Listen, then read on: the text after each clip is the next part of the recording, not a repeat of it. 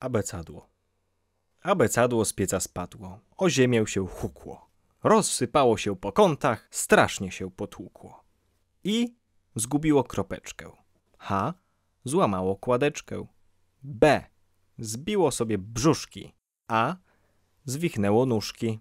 O jak balon pękło, aż się P przelękło. T daszek zgubiło. L do U wskoczyło. S się wyprostowało. R prawą nogę złamało. W stanęło do góry dnem i udaje, że jest M.